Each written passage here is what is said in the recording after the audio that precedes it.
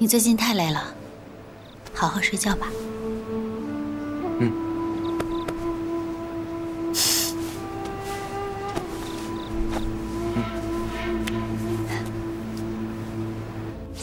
你不许动他，就算为阁中利益，公子香也必须活着。他云台之人凭什么干涉凌渊的利益？我倒是愿闻其详。原本我以为公子香只是为了调查文聪落难之事，于是我便接近他。并且，暗中帮他追查线索，趁机斩除叶宵的爪牙。后来我才知道，公子香来南都另有所图，他为报私仇，而我正好有法子，将矛头引向南宫放。你只需记住，绝对不许动他。为何这几日，